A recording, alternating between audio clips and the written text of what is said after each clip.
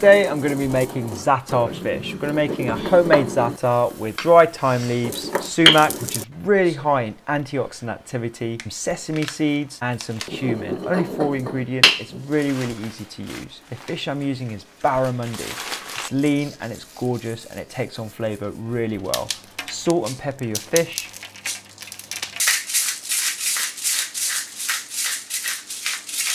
and then you just using your hands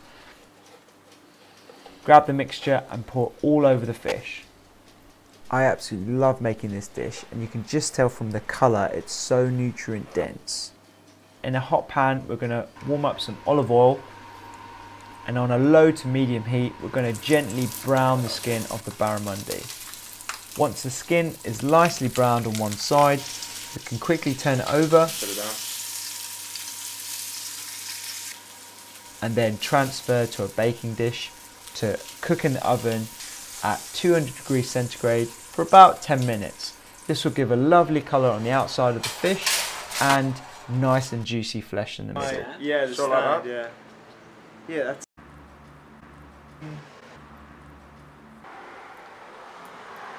I like to enjoy this meal on the balcony in Australia. I'll have this with a side of my Lebanese inspired salad, the link of which uh, is below. Doctor's Kitchen. Good vibes, good food, good times.